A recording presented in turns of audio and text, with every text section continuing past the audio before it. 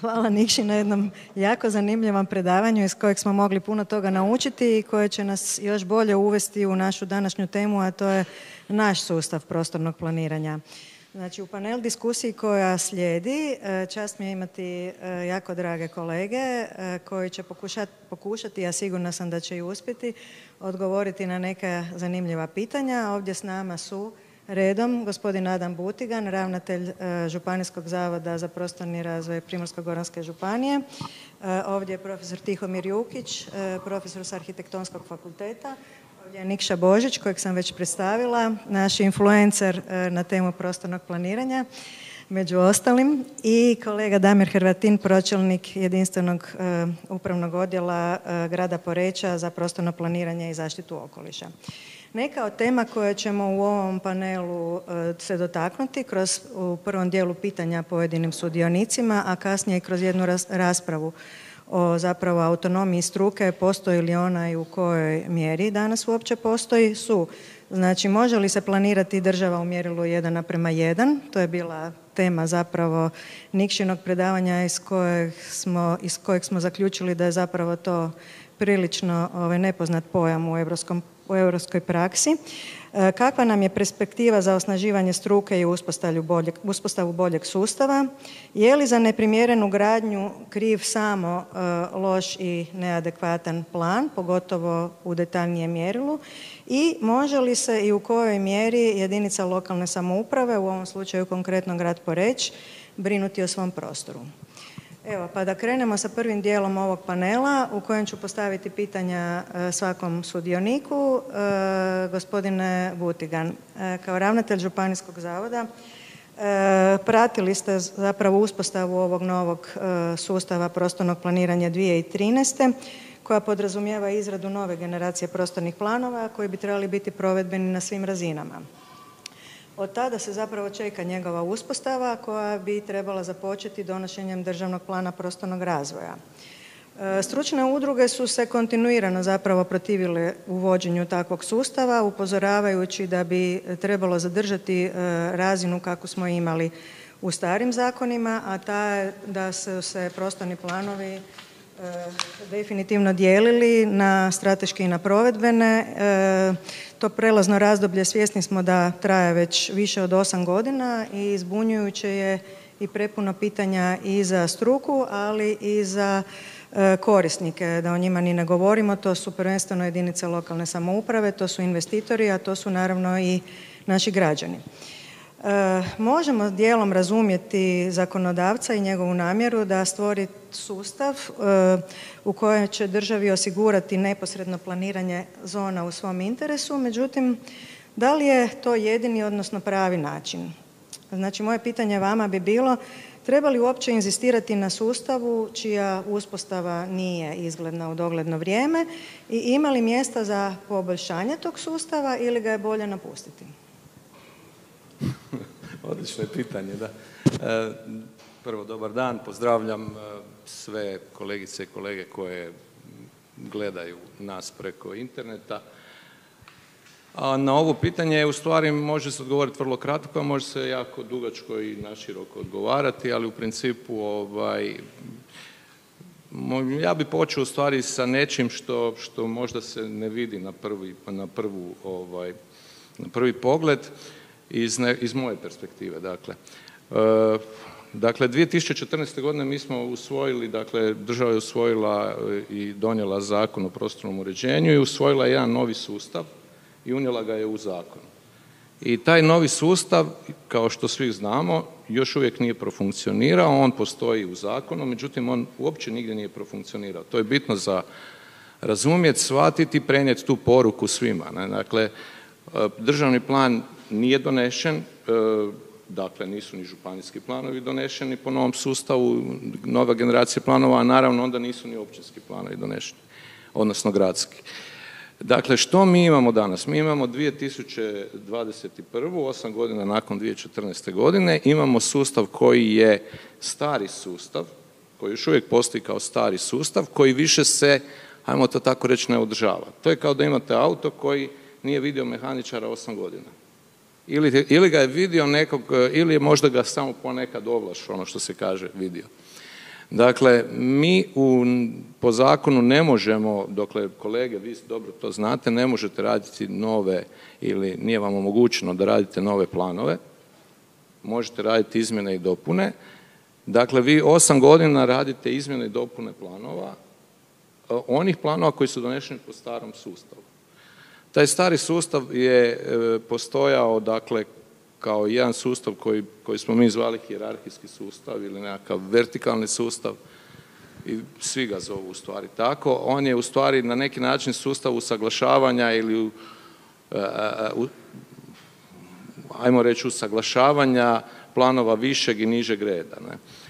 I e, on po sebi je dakle imao svoje nekakve kontrolne mehanizme koji su skroz zakon E, kroz zakone, prethodne zakone koji su bili do 2014. bili dosta čvršći.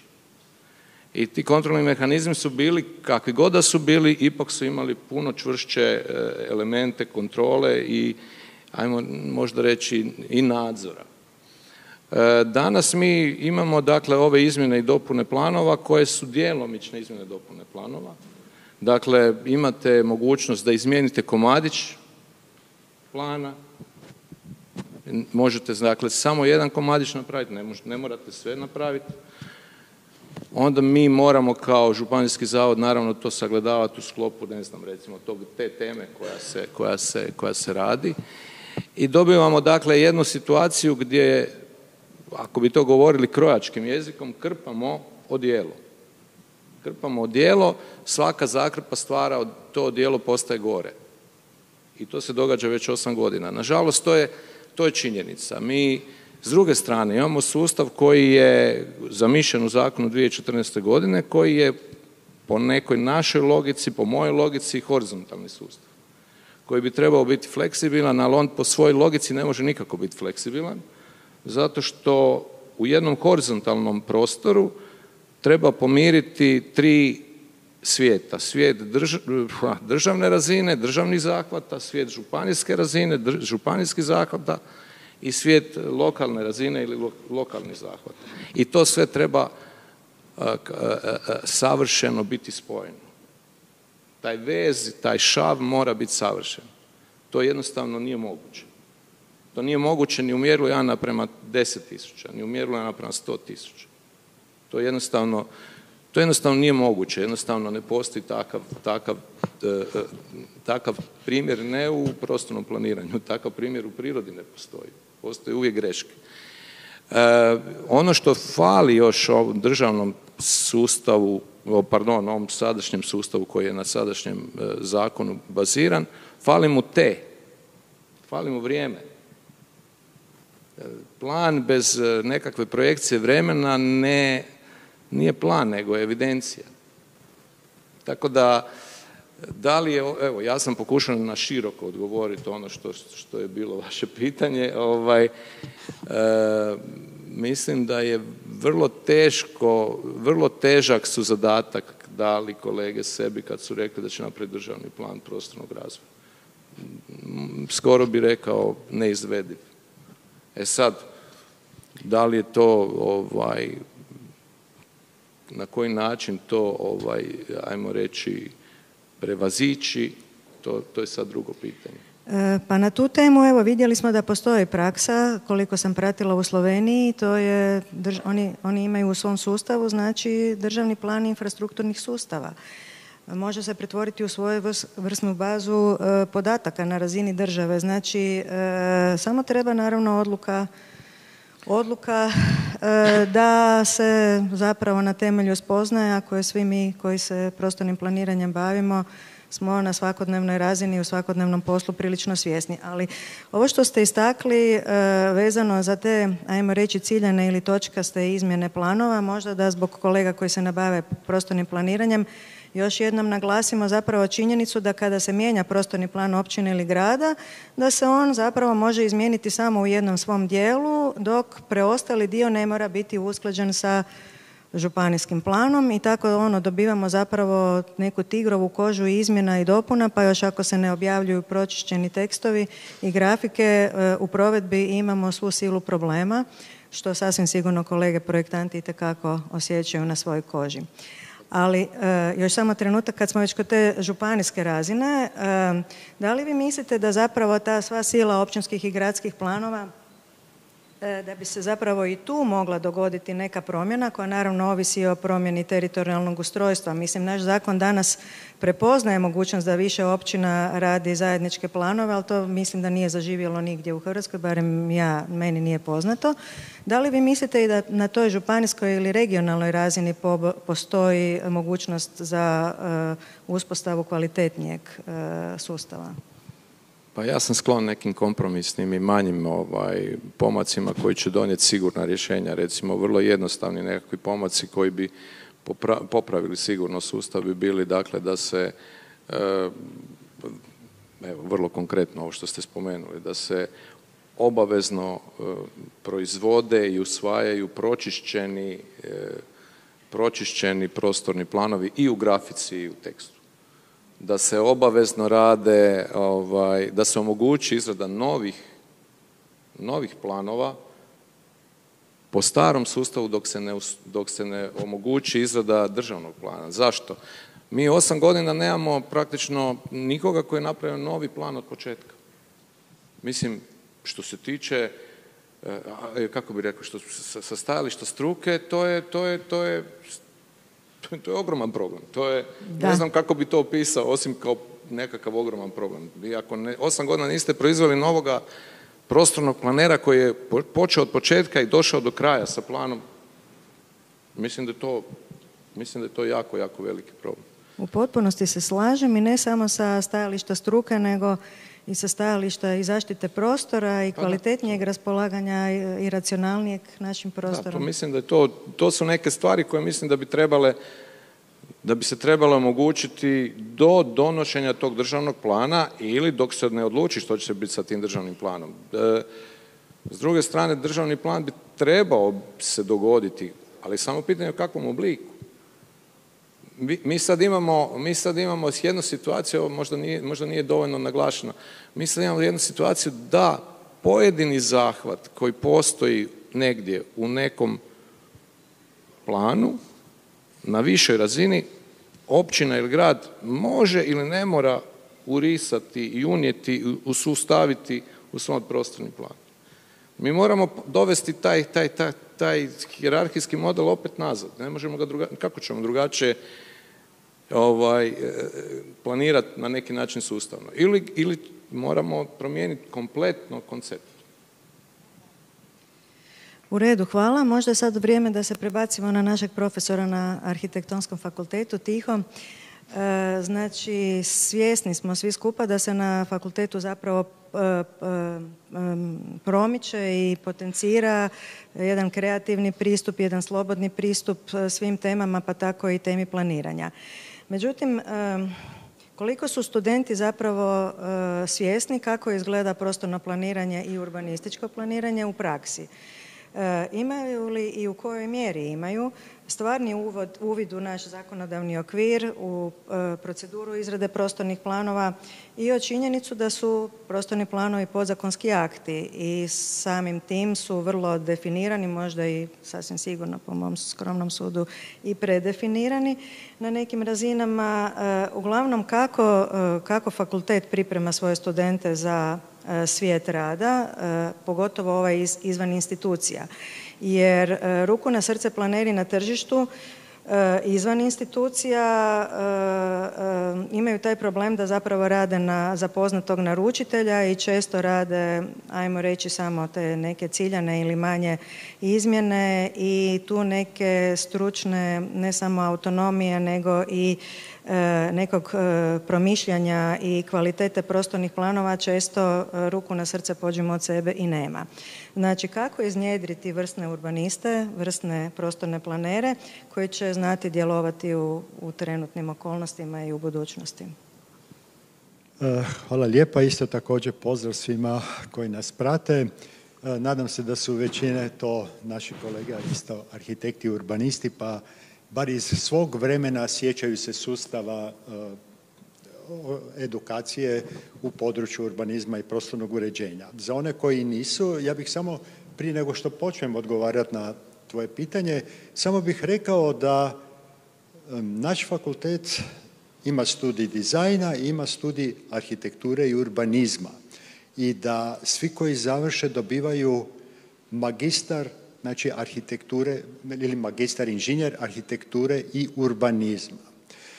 Kad bi napravili anketu, recimo na prvoj godini, tko je došao studirati arhitekturu, a tko je došao studirati prostorno planiranje, urbanizam, mislim da bi to za ovaj naš dio struke bio porazan, jer sigurno negdje 95, ako nije 98%, svi maštaju o interijeru, maštaju o prekrasnim staklenim obiteljskim kućama i tako, Jedino oni koji su malo više socijalno orijentirani, e tu, to je to područje u kojem mi nalazimo kasnije i na neki način iz njih izvlačimo onu grupu 10-20% studenata koje ćemo, kada si ti rekla u početku, uh, i kreativnosti u početku i sve, u stvari mi imamo jedan proces zavođenja, mogu bi tako reći. Znači da im otvorimo oči a što je u stvari to urbanizam i što je to prostorno planiranje? Naravno da to ne radimo sa zakonodavstvom, nego na jedan drugačiji način. Ali zakonodavstvo je odmah prisutno, ali samo jedan segment iz planova, a to su odredbe, to su nekako koeficijenti izgrađenosti, iskoristivosti, znači samo neki segmenti koje imamo u početku. Što idu dalje od prediplomskog, naravno da tu prvi put susret e, malo značajnije je edukacija upravo kroz zakonodavstvo građevinsko, odnosno i urbanističko, prostorno planersko. E, to je jedan uvod u ono što će ih kasnije na diplomskom studiju puno kompleksnije dočekati, a to je da će ipak kroz diplomski studij proći, jer ovaj dodiplomski manje više to je razina urbanističkog planiranja. I upravo ovo što si ti rekla, to je nešto između arhitekture i urbanizma, taj odnos. Jer mi moramo voditi računa da ipak 80% su budući arhitekti koji moraju imati ta osnovna predznanja da bi kvalitetno mogli raditi, a to znači da znaju pročitati plan, da znaju sve postavke iz planova i tako. A na diplomskom studiju, e onda dolazimo do ovih ostalih razina, a to je razina naselja, razina grada, eh, nakon toga gradskih projekata, znači detaljno i kroz naše radionice završne, to je treći semestar, odnosno deveti semestar, kompleksne situacije, ali moramo znati isto tako da ono što sada radimo i prije tri godine ili prije deset godina da je potpuno drugačije, jer smo imali polazišta potpuno drugačija, sada puno više je to orijentirano na održiv razvoj, na klimu, na energetiku, na sve što možda prije 10-15 godina nismo toliko naglašavali, jer ih moramo pripremati i za ono što će tek sada doći, kružno gospodarstvo, znači svi te elementi koji dolaze. Sad se postavlja pitanje kvalitete znači urbanista i prostornih planera. Rekao sam da je to možda desetak, petnaestak posto ovih koje educiramo. Za razliku od e, zemalja razvijenih, zapadnih, koje imaju 10-15 arhitektonskih fakulteta, 5-6 upravo ili na razini geografije, prostorno planerski, znači posebno studiraju, oni mogu dobiti jednu puno e, opsežniju ili drugačiju razinu znanja o ovom segmentu o kojem ti govoriš, a to je zakonodavstvo za svakog segmenta. U ovom našem slučaju e, moramo znati da dobiti kvalitetnog prostornog planera, urbanista, edukacija je samo jedan segment. Drugi segment je popularizacija struke u društvu. Treći segment je da ti ljudi koji završe imaju svoj status, da se zna što mogu raditi, gdje mogu raditi. Znači imamo niz tih elemenata, a da bi oni kvalitetno radili, moramo znati, budući da, kao što sam rekao, educiramo paralelno arhitekte i urbaniste, oni moraju imati specijalizaciju, a ta specijalizacija bi trebala biti ili kroz specijalistički poslijediplomski, odnosno kroz praktični rad u uredima. E sad dolazimo, a gdje su nam uredi? Gdje su nam naši i na razini države, na razini županija, na razini nekada gradova. Mi smo imali kontinuitet 20-30 godina sustavnog planiranja, baza podataka. Nama se dogodilo suprotno, a to je da smo postali javna nabava, postali smo isto kao za bilo kakav toalet papir ili bilo što drugo, znači radi se javna nabava koja je jeftiniji i još je malo će to sad ispasti ružno, mislim i struka i komora doprinala tome, a da svako može raditi urbanistički plan, a nekada je to cilj samo da dođeš do arhitektonskog projekta. Izgubila se interdisciplinarnost, izgubila se kompleksnost. Evo sad tu, zato hoću reći da nije samo na edukaciji. E, sve to znamo i mi smo prije 15 godina napravili program novog diplomskog studija urbanizma i prostornog planiranja, ali upravo iz razloga tog što je bila bojazna, bojaznost znači diplome koja je arhitektura i urbanizam, E, Ista stvar sa komorom, stvar sa ministarstvom, to nije saživjelo. Znači da se odvoji jedno i drugo, odnosno da to bude još jedan diplomski studij. Tako da, evo, to su neki elementi, ali isto ponudili smo specijalistički diplomski studij gdje smo upravo mislili da ćemo tamo nadoknaditi ovo što se tiče i provedbenih odredbi, karakteristika zakonodavstva i svega ostalog kroz praksu, jer smo očekivali trostruku ulogu. Tu se trebalo pojaviti ministarstvo, trebalo se pojaviti praksa i trebalo se pojaviti znači edukacija. E, I taj studij smo osnovali, javilo se mislim pet ili šest osoba samo na poslijediplomski studij. Zašto? Zato što to nije im davalo nikakove e, kvalifikacije za dalje na razini niti zavoda županijskog, niti na razini ministarstva, komore.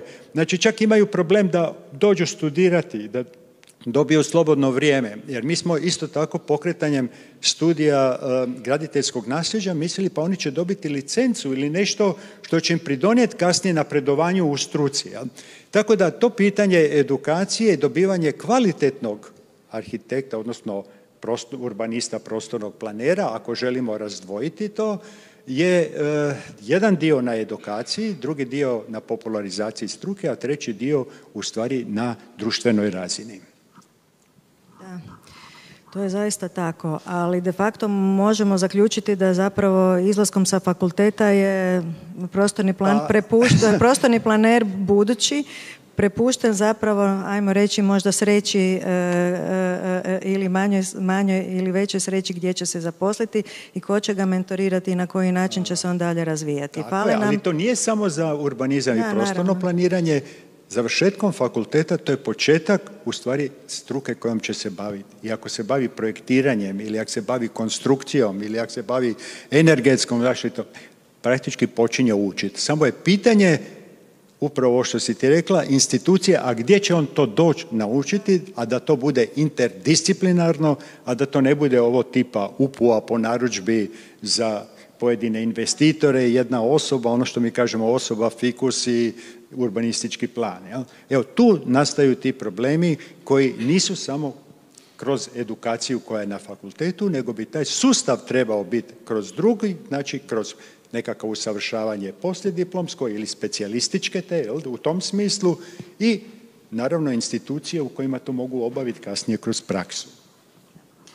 U redu, evo, hvala za sada. E, Nikša, e, prelazimo na tebe i na temu zapravo tog urbanističkog planiranja u kojem si E, dosta doprinio sa svojim mnogobrojnim aktivnostima. Znači, da li po tebi, po tebi ovaj trenutni sustav osigurava adekvatne planerske alate koji može osigurati zapravo kvalitetu naših prostornih planova, prvenstveno mislim na urbanističke planove uređenja, jer trenutno postoji samo, samo ta vrsta plana. Nekad smo imali i detaljnije, bivše još pupove, čak je bio i onaj PUMN, ali sad imamo de facto taj UPU koji doduše prepoznaje različite vrste mjerila, tisućicu dvije i pet tisuća, međutim e, oni su jednako zapravo više manje svi plošni i dvodimenzionalni i e, ne odgovaraju definitivno današnjim potrebama. E, isto tako vezano za ono uopće određivanje prostora za koje je potrebno izrađivati uputu imamo isto velikih prijepora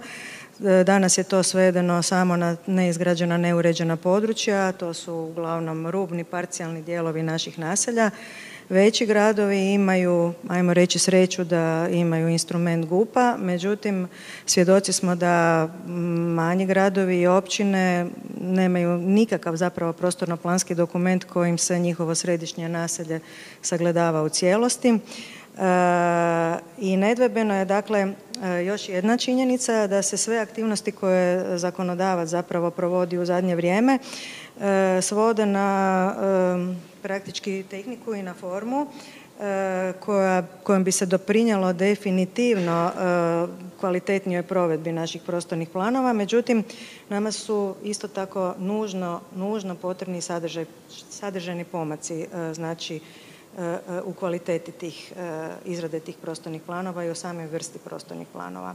Kako je tvoje trenutno viđenje sustava urbanističkog planiranja i gdje vidiš mogućnosti za njegovo poboljšanje? Evo, hvala. Hvala na pitanju. Zapravo je to dobrim dijelom i sadržano u ovim tezama za izmjenu zakonodavnog okvira koje su naša dva odbora, evo stvarno u vrlo, vrlo usko, tjesnoj suradnji napravila kroz godinu dana diskusija i suradnje, znači Odbor za zakonodavstvo i Odbor za urbanizam.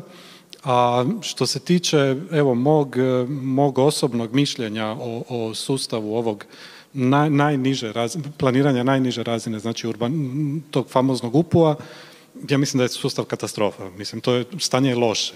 I, I stanje je ono da ga treba graditi od nule. Mislim, moj nekakav generalni stav je da mi u sve ove probleme koje imamo u sustavu prostornog planiranja, na razini prostornog planiranja do, do razine znači prostornog plana uređenja grada ili općine taj sustav još uvijek funkcionira. Kažem, u sve probleme koje imamo, ali vi kad se ukrcate na neki trajekt ili kad sjednete na neki avion, onda vidite da su naši prostori, znači prostori od ključnog značaja su ipak sačuvani, e, izgradnja je ipak koliko toliko usmjerena i kontrolirana na određene prostore. Znam da se građevinska područja gradnje. šire, znam da je nelegalna gradnja, ali kažem, kad, se, kad avion uzleti ili kad se, kad se trajekt e, odmakne od obale, onda je to kontrolirano. Unutar građevinskih područja mi imamo katastrofu. E, i u smislu stanja u prostoru i u smislu planiranja. Znači ovo što nam je zakonodavac dao kao jedini alat, taj famozni urbanistički plan uređenja, to je jedan potpuno substandardan plan koji e, ima zadatak riješiti cijeli spektar prostornih problema, bitno različitih, a ne daje nam osnovne alate da ih riješimo. Znači to je plan koji bi trebao riješiti i planiranje malog grada, znači ono gdje zamjenjuje GUP, pa govorimo o upu cijelog naselja i planiranje e, recimo e, urbane sanacije dijela postojećeg izgrađenog dijela grada i planiranje neizgrađenih dijelova grada i planiranje industrijskih turističkih zona i planiranje povijesnih cjelina, e, znači nešto što smo zagovarali, urbanističko-konzervatorski plan, što smo nekad i imali u zakonu o zaštiti kulturnih dobara, ali sada se kultura povlači u svoje uske granice i kaže to će riješiti prostorno planiranje, a prostorni planeri nemaju osnovni alat za jedan takav kompleksan zadatak. Znači ja sam pokušavao napraviti upu povijesne cjeline, to je nemoguće. Znači vi kad god iziđete iz tog famoznog zoninga, vi ste, vi ste u, jednoj, u jednoj situaciji gdje Uh, oprostite, ali do, dođemo do nekih uh, županijskih zavoda gdje nas traže striktno poštivanje pravilnika. Pravilnik je, ja već imam 20 godina iskustva, pravilnik je donesen kad sam ja još bio student. I nije, imao je nekakve male, male izmjene. Znači, to je opća katastrofa. Ono za što se mi zalažemo je da se prvo kroz zakon i kroz famozni najavljeni pravilnik o standardu prostornih planova razviju alati za planiranje ovakvih bitno različitih planerskih tema. Znači mi moramo imati alat za planiranje središnjih naselja, gradova i općina. Jer tu je skoncentrirano 90% njihovih planerskih problema koje vi ne možete riješiti prostornim planom u mjerilu 1 naprema 25 tisuća, a dok nema obaveze i dok ne vide, a mi kao planerska struka nismo ih uspjeli uvjeriti da vide korist od izrade e, detaljnijih planova, oni ostanu neplanirani. E, ovo što imamo danas, dakle ja sam vidio e, famozne upuje turističkih zona koji vam se svode na jednu, jednu slijepu prometnicu sa okretištem i sve drugo je crveno. I to nazivamo plan. Mislim, mi varamo sebe varamo te investitore, varamo, varamo javnost. Ono što mene posebno zabrinjava je da ti planovi su ponekad samo jedan, jedna formalna prevara. Znači mi u tom trenutku imamo gotove projekte investitor ima gotove projekte, a na e, javnu raspravu idemo sa tehničkim crtežom koji niti nama koji imamo desetegodišnje iskustvo u prostornom planiranju ne zna ništa. Meni je, meni je poražavajuće da ja svojim susjedima, nakon što me pitaju šta se planira u našem susjedstvu jer imamo upu na javnoj raspravi, ne znam odgovoriti šta se planira. Hoće li biti jedna zgrada ili pet zgrada? da li taj KIG znači uh, veliki trgovački centar sa parkiralištem ili znači četiri zgrade nagurane jedna na drugu. Tako da tu definitivno moramo, moramo nešto napraviti. I da, da završim, ono što isto tako imamo obavezu kao, kao država, ovdje, ovdje u naslovu je bila, bila zapravo jedna, jedna greška, govori se o hrvatskim i EU. Mislim, Hrvatska je EU. Dakle, naša nova prijestolnica, EU prijestolnica, donosi uh, revidiranu Leipzišku povelju koju je potpisao naš ministar. Europska komisija donosi vrlo ambiciozan uh, plan Novi Europski Bauhaus gdje je prva rečenica i jednog i drugog dokumenta da tražimo kvalitetu izgrađenog okoliša. Mi tu kvalitetu izgrađenog okoliša kroz planove koje sada imamo kao alat jednostavno ne možemo planirati. A da li ćemo ih bez planova postići, sumnjam. Tako da je velika, velika odgovornost na, na, tom, na tom dijelu. Da, e, znači e, rješenje bi bila de facto uspostava sustava sa više vrsti e, urbanističkih planova uređenja sa različitim sadržajem koji bi se onda propisali vjerojatno kroz neku vrstu pravilnika, ali nedvojbeno je da danas situaciju koju imamo sa ne samo ovim primjerima koje si ti naveo, nego i sa uplanjivanjima takozvanim, znači ne daje plan e, dovoljno očito informacija e, za projekte, nego praktički dobivamo projekte koje onda uplanjujemo. Znači imamo jednu zaista vrlo, vrlo lošu situaciju za sve sudionike u tom procesu. Znači, ja bi se još malo zadržala, ali mislim imamo dovoljno vremena na toj razini urbanističkog planiranja. Ona je bitna i za sljedeću temu koju ćemo otvoriti kad su jedinice lokalne samouprave i skrb o svom prostoru iznimno bitna Naime, činjenica je da je zapravo zakon sve o potrebu izrade UPU-a na te rubne, neizgrađene, neuređene dijelove proizvodi zapravo tu situaciju da se izbjegava izrada urbanističkih planova uređenja bez obzira što e, uvijek nositelj izrade može e, prionuti izradi takvog plana sa pozitivnom željom i namjerom da sredi jedno veće kompleksno područje za koje e, e, je potrebno zapravo detaljnije sagledavanje. Znači, e, imamo zapravo situaciju da nas je zakonodavni okvir koji gotovo da više uopće, imam područja recimo općina i gradova za koji nema po zakonu uopće potrebe izrade urbanističkog plana uređenja niti za jedno jedinca to naselje nego za tigrovu kožu od 25 e, komadića rubnih dijelova naselja. I sad kako da prostorni planer na tržištu de facto e, e, s kojim argumentima objasni ili ukaže na potrebu cjelovitih, cjelovitog sagledavanja prostora. Znači, tu nam je zaista postojeći zakonodavni okvir i izrazito nekvalitetan. Ja se, ja se apsolutno slažem. Mi čak ovo je sreća da imamo za, za rubni dio naselja, ali mi većinom ovo što proizlazi iz zakona kao obaveza izrade UPU-a, nama su to nekakvi ostaci u unutrašnjosti blokova, gdje vi do tih ostataka možete proći kroz jednu ili dvije čestice koje su sada neizgrađene po obodu. Gdje vam, sada jesu, a za pola godine... Gdje vam zakonodavac sada ne daje priliku da tu mogućnost pristupa do unutrašnjosti bloka planerski zaštitite na način da propišete obvezu izrade UPU-a kao uvjet za dobivanje dozvole.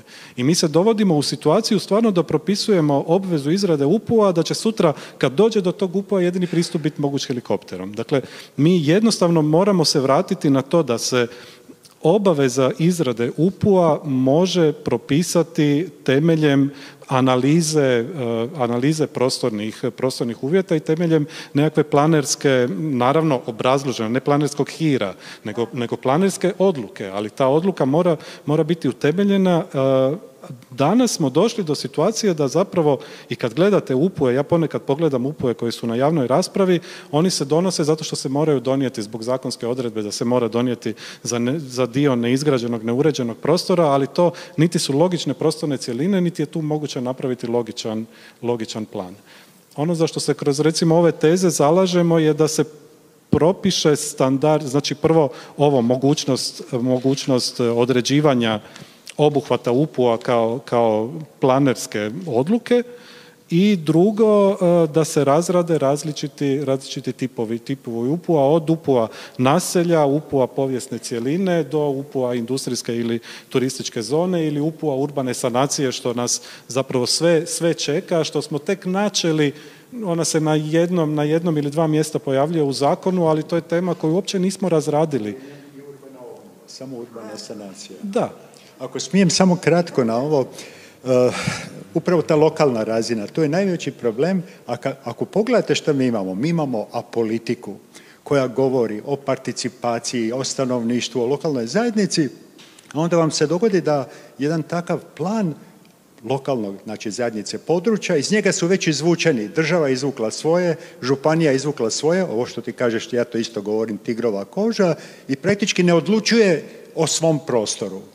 A, a politika je puna toga. Ja? Znači tu malo sami sebi skačemo u riječ. Ja? Pa ne skačemo mi, skače nam zakonodavac. Ali ova tema je zapravo sad dobar uvod u, u, u temu e, znači i pozitivnih primjera u, u, našem okruženju, a to je, ja bih zaista izdvojila grad Poreć, e, e, koji ako ga pogledate iz zračne snimke, sve vam odmah bude jasno bez previše teksta i obrazloženja. Znači Poreć se razvijao ili Poreć se razvijao planski od svog postanka i to je zaista primjer sredine koja se e, skrbi o racionalnom korištenju svog prostora i de facto možemo konstatirati da vas ovakve izmjene zakonodavnog okvira nisu destimulirale i da de facto niste prepustili uređivanje svog prostora e, samo prostornog planu i GUP-u, iako bi to e, u većini slučajeva bilo dostatno, nego da se zaista poreć razvija na temelju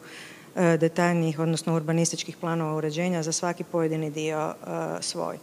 E, znači, obzirom na svoj smještaj i značaj, sigurno sigurno nije činjenica da nije bilo pritisaka na prostor i, pokušaja da se zapravo koriste samo ta neposredna provedba planova šireg područja.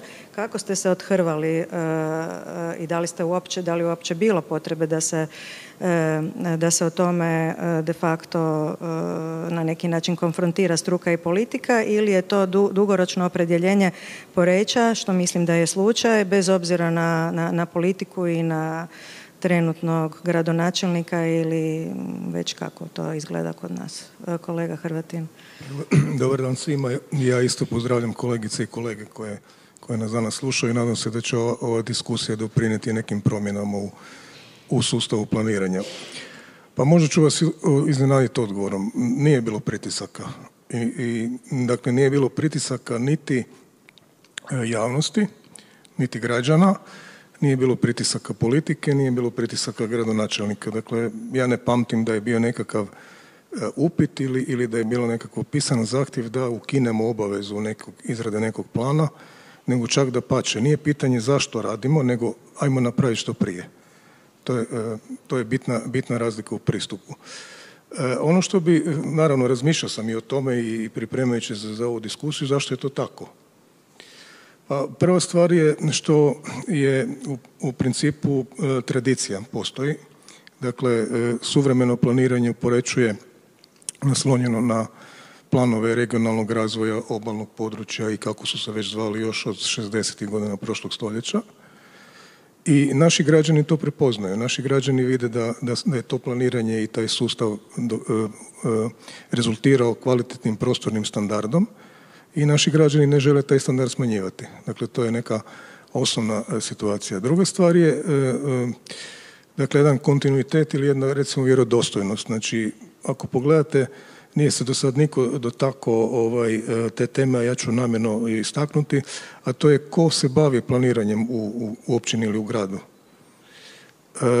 najčešće je prostorno planiranje u sustavu nekog velikog odjela ili je spojeno sa izdavanjem dozvola, ili je spojeno sa komunalnim sustavom, ili je spojeno sa upravljanjem imovinom. I još češće na čelu tog odjela uopće nije arhitekt, a još manje prostorni planer. Ja mislim da sam ja jedini e, ovaj, arhitekt, prostorni planer, pročelnik koji, koji radi u odjelu za prostorno planiranje i to od početka grada odnosno reforme lokalne samouprave od 1994. godine u Istri sigurno, ne znam za, za šire, ali mislim da vjerojatno rijetko gdje postoji baš poseban odjel. Dakle, to je, to je recimo jedna, jedna ne, ne, kažem to da sebi dižem nekakav ovaj, spomenik, nego je to naprosto, e, tu je bilo govora e, o planerskoj odluci koja mora biti, ali ko je taj koji će reći? Dakle, E, e, grad neće pitati nekoga izrađivača što misliš kako bi trebalo nešto riješiti. Pitaće ga onda kada ima nekakav ugovorni odnos. A neko u gradu bi trebao znati, prepoznati što bi trebalo napraviti u kojem području. Ono što, što mislim osnovno je da je ona podjela na izgrađeni i neizgrađeni dijelovi, dio, pa onda na neuređeni, da je to unijelo totalni nered u cijeli, u cijeli sustav, jer je zapravo planiramo e, neizgrađena područja gdje više manje nema problema ili, ili onako kako je rekao kolega prolazi se kroz ulicu od 2,5 metra na pravo služnosti, a onda planiramo e, novo naselje sa 8 metarskim koridorima i velikim standardima. Dakle, upravo je suprotno. I e, ako se dobro sjećam, kad je to bilo unijeto u zakon, onda je bila jedna analiza napravljena da, da će trebati napraviti nekakvih 800 UPU-ova u Istarskoj županiji. Mislim da sada važećih planova ima nekoliko puta manje, svih zajedno da zbrojimo sve skupa. Dakle, to je nemoguća misija.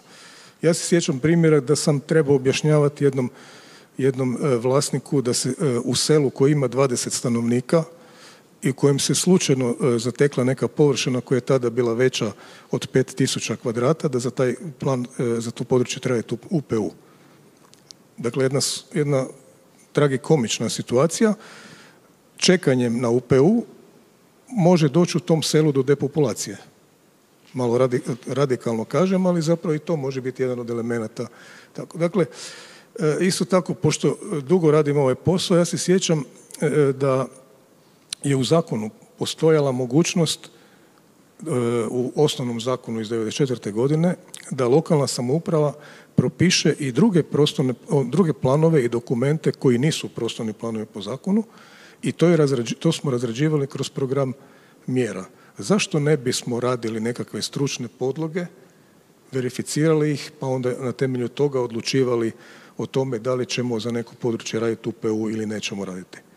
Mi smo recimo radili stručnu podlogu za rekonstrukciju partera povijesne jezgre i prihvatili tu stručnu podlogu na poglavarstvu tadašnjem, tada je bilo poglavarstvo, kao jedan, jedan dokument koji je imao značaj na temelju čega se poslije taj parter obnovio. Dakle, čak do te mjere. Urbanistički projekt smo totalno izbacili iz, iz, iz, plan, iz ovoga hirarhije planova, a, a jako puno ima situacija u, u gradovima i u, i u, i u naseljima gdje je, je, recimo bi urbanistički projekt mogao biti jedna dobra razina e, dokumenta na temelju kojeg bi se radila neka obnova ili neka interpolacija ili tako dalje. Dakle, ja mislim da niko ne dvoji da e, država pa potom županija e, ima pravo i mogućnost da propiše određene elemente, da, da propiše zahvate koji su državnog značaja, ali to ne može biti sve živo, to može biti samo neka razina, to može biti autoput, to ne može biti bilo koja državna cesta. E, isto tako i županije, jer onda je sustav zagušen. Mi danas imamo u biti nevjerojatnu detaljnost visokih planova. Nama prostorni planovi županije, ne znam da li svi, znam za naš, propisuju visinu nekih objekata i nekih namjena prostora, propisuju maksimalnu izgrađenost nekog prostora. Istra je, nije ravnomjerna, da tako kažemo, u nekakvom prostornom sustavu od istoka do zapada. Kvarner ima i Gorski kotar, ima, ima otoke i tako dalje. Dakle, i što rezultira? To, e, velika nefleksibilnost.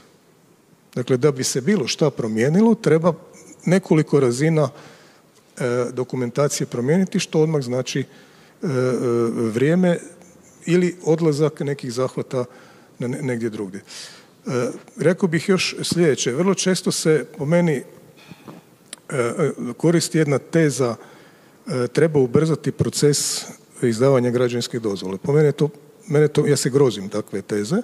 Dakle, zar je poanta priče što prije dobiti dozvolu ili je poanta priče dobiti zahvat koji odgovarajući prostoru, odnosno ovoga e, nekom, e, najgore je izdana dozvola i izgrađen objekt koji je protiv svih pravila, pravila e, planinske struke.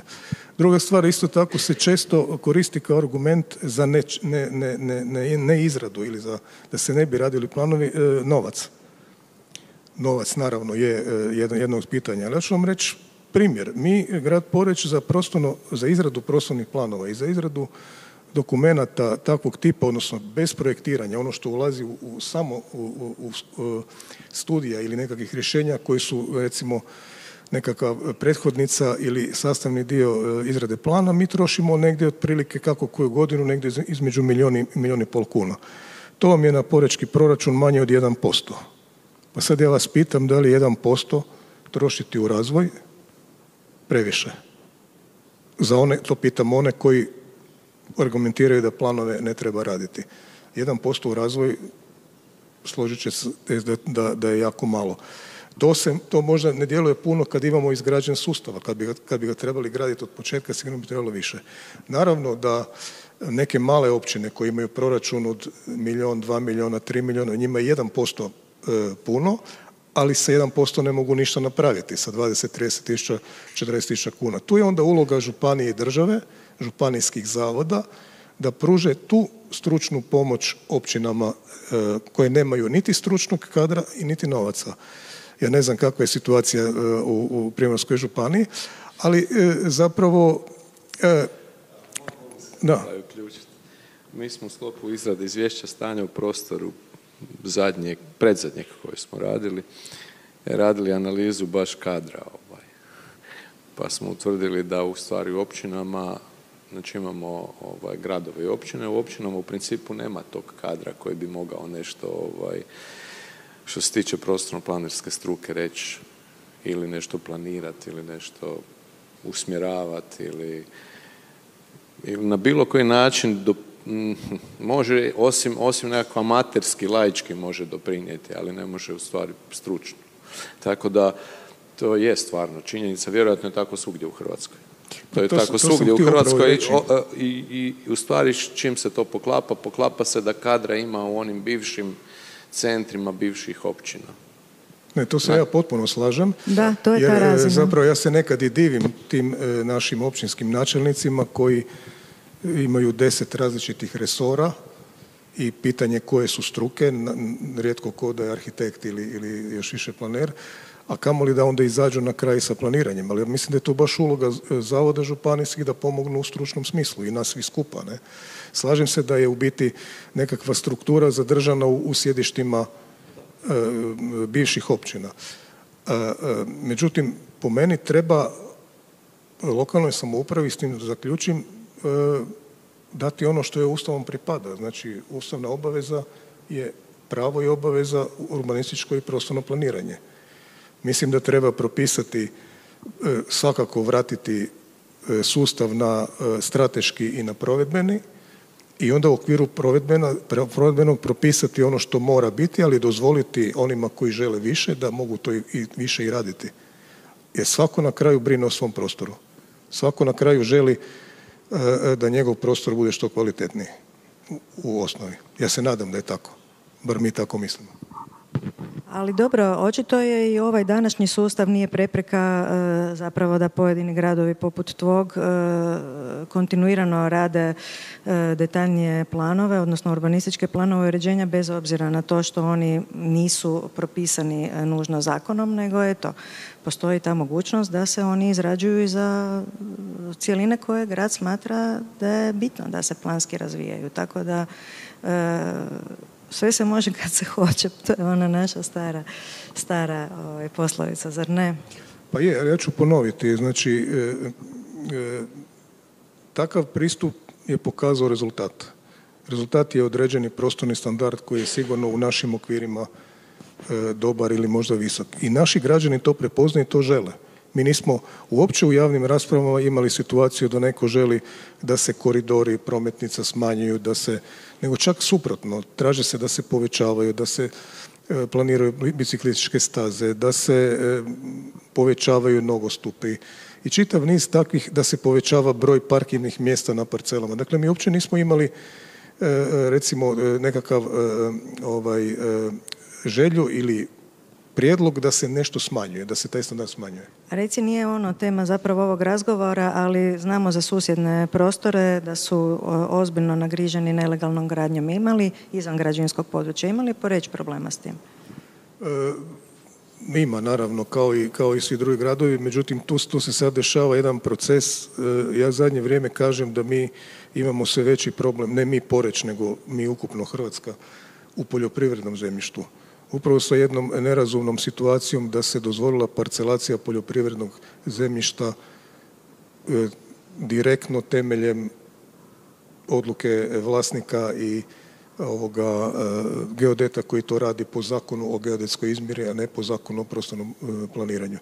I šta se dešava kad pogledate, dignite malo portale, dešavaju nam se nešto što nalikuje na urbanizam u poljoprivrednom zemljištu.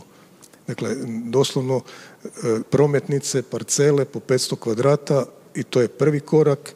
Sljedeći korak je betoniranje podloge, treći korak je doprema mobil homova i tu je priča završava. Ako te smijem samo ispraviti, nije samo u poljoprivrednom zemljištu, imali smo sad nekoliko slučajeva upravo u neizgrađenom dijelu građevnog područja gdje se znači, nova izgradnja radi temeljem parcelacije temeljem vlasništva.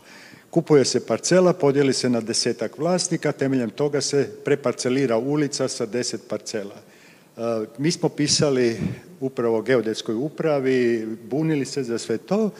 Odgovor vam je da naše ministarstvo je taj zakon dalo da prođe, a to je nekakav članak, mislim, 23 zakona o katastru. I sada imamo jedan veliki, ja sam baš sudjelovao nešto na Viru, smo pisali protiv toga, u prostoru gdje postoji urbanistički plan, ovaj obveza izrade e, UPU-a, neizgrađeni dio građevnog područja, UPU piše da se ne smije parcelirati dok, nema, dok ne bude UPU, sad se radi normalna parcelacija ulice i e, znači jedan novi vid nelegalne izgradnje.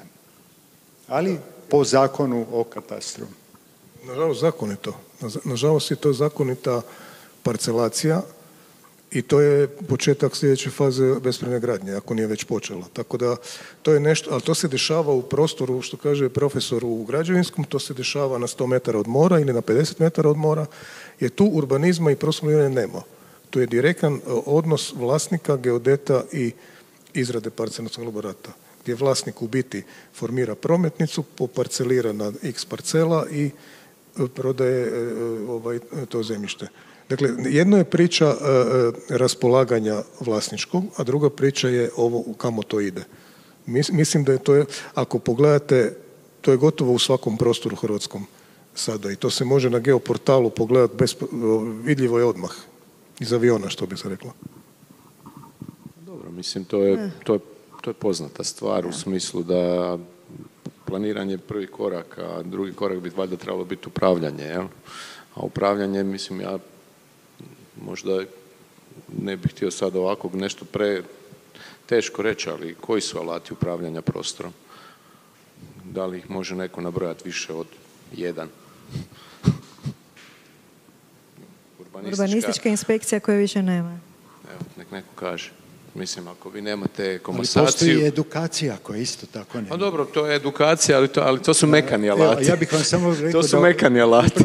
U Zagrebu se pokreće i postoji poslije diplomski studij upravljanja gradom gdje upravo oni koji donose odluke i rade u tim gradskim službama pohađaju znači i pravo i ekonomiju i prostorno planiranje, znači jedan jedan, jedan ovaj obim novih znanja stječu da bi kvalitetnije mogli donositi odluke.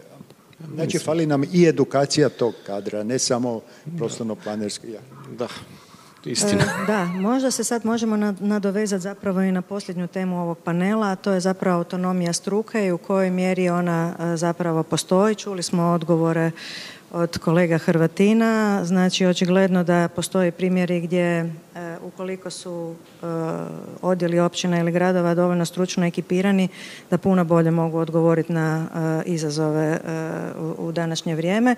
Međutim, što je sa tržištem? Evo, Nikša, kakva su tvoja iskustva kao planera koji je na tržištu? Kako tu funkcionira? Ima li i u kojoj mjeri je zastupljena autonomija? Malo nećemo plakati, ali budimo iskreni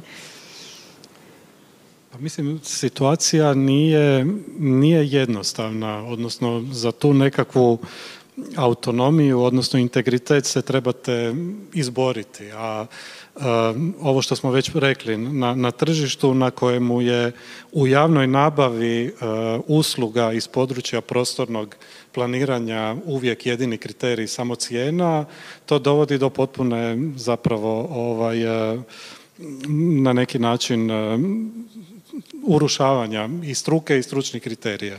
I ja zapravo i kroz ovaj rad u odboru za urbanizam, mi smo se evo u prvoj godini snažno, e, da tako kažem, e, fokusirali na ovu temu izmjene zakonodavnog okvira, ali ja mislim da u komori postoji veliki prostor za poboljšanje e, zapravo e, položaja struke kojega bismo trebali, trebali iskoristiti. Kad to kažem, onda, onda mislim da mi ne možemo znači mi koji smo evo na tržištu, koji radimo planove, ali kad donosimo određene planerske odluke, e, mi smo danas prepušteni sami sebi. Znači dođete na poglavlje... Upravo to dođete na poglavlje e, norme za parkirališta, vama tu Neufert više ne daje odgovor.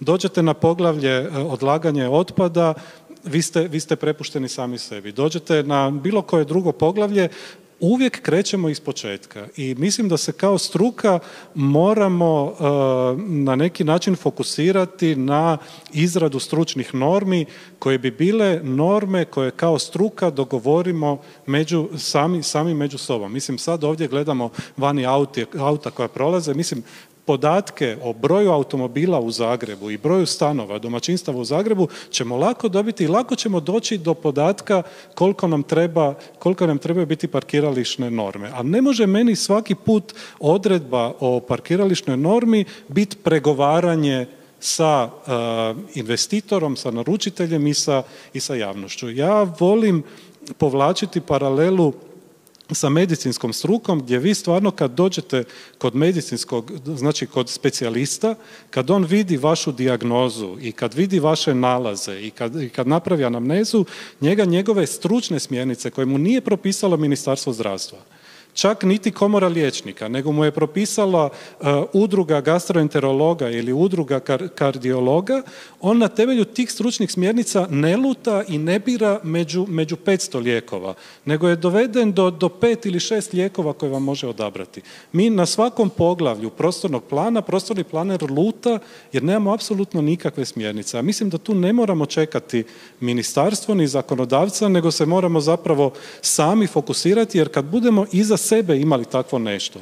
Kad ja, kad ja u ovim sustavu izrade planova i pregovaranja sa naručiteljem kažem ne, moje stručne smjernice kažu u rasponu ovako i ovako i možemo govoriti o ovom minimalnom broju, ali ovo što je Damir spomenuo, mislim, ja sam nažalost bio u situaciji da mi u dalmatinskim općinama kažu za cestu od 6 metara gdje si to vidio a uredno dolazi na sastanak sa, sa širokim autom. I moram, moram objašnjavati koliko je njegov auto širok i koliko moramo, koliko moramo prostora da se dva auta mimo iđu. Uopće nismo došli do diskusije o pločniku. Znači govorimo samo, samo o kolniku. Znači tu se moramo izboriti stvarno za nekakvu autonomiju struke gdje ja moram na stranici komore imati stručne smjernice i na njih se moći pozvati. I onda ćemo moći i mimo zakonodavca i u ovom kaosu, jer neće nama biti bolje sutra sa izmjenama zakona, u ovom kaosu u kojem moramo raditi možda će ćemo imati nekakvo uporište za, za ovaj, ove, ove planerske odluke. Da, i posljedično onda vjerojatno uvesti i sustav vrednovanja, je tako? To je isto bilo u programu to rada. Je, to je druga ili treća, treća tema kako, se, kako se izboriti zapravo za kvalitetu, kvalitetu planiranja kroz neke oblike vrednovanja planerskog posla. E, dobro, kako stvari izgledaju sa e, razine recimo e, regionalnog planiranja? Zavod je i izrađivač pojedinih prostornih planova, isto tako sudjeluje u proceduri izdavanja mišljenja na planove.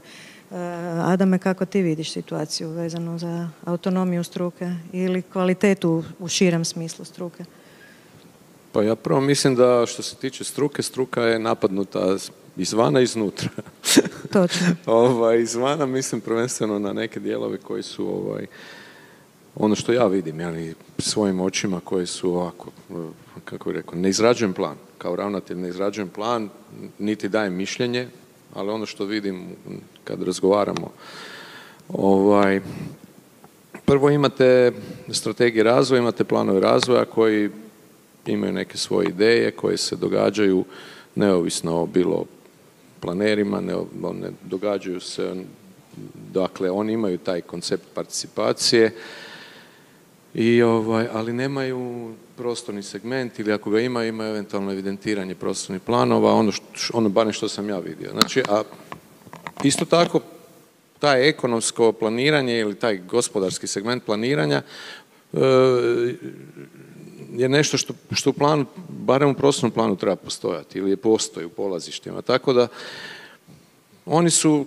po nekom mojem, onako mojem nekakvom svačanju bi planeri. Ti ljudi koji rade razvojne planove.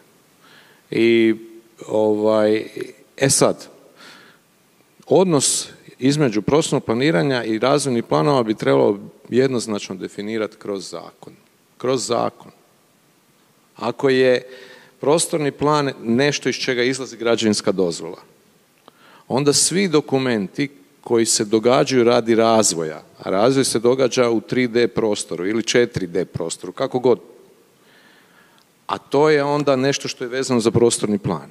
Onda svi ti dokumenti moraju biti nekakva polazišta ili nekakve ulazne osnove koje su, koje su podloga za plan.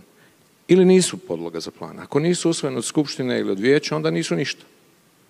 Znači, hoću reći da, da to, to nešto, to, su tak, to je recimo jedan primjer. Drugi primjer je e, razne, razne studije koje su vezane za zaštitu okoliša.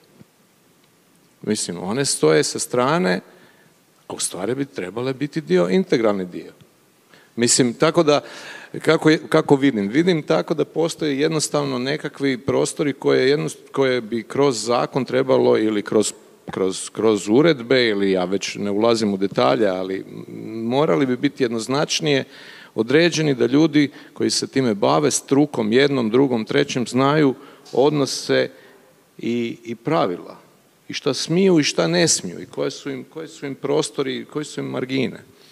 To je, to je prva stvar. Ne? A druga stvar, ova unutrašnja priča koja je vezana za ovaj standard koji je Nikša govorio, mislim da generalno bez standarda, bez nekakvih e, e, bez nekakvih generalnih standarda teško se možete vi obraniti od nekakvog e, bilo koga ko vam je, ko, ko, ko vam dolazi, posebno ako ste na tržištu i kada vam taj kaže da hoće nešto. Kako ćete vi to? Kako se možete obraniti osim nekakvim svojim autoritetom iskustva, znanja i godina što vi nakon 20-30 godina rada možete. Ali kako će mladić ili djevojka koji su počeli raditi prostorno planiranje, koji nemaju standarda, na koji način će se oni obraniti? Iz kojeg iskustva će se oni obraniti? Kako će oni ući u tržište rada? Mislim, to je stvar baš za komoru.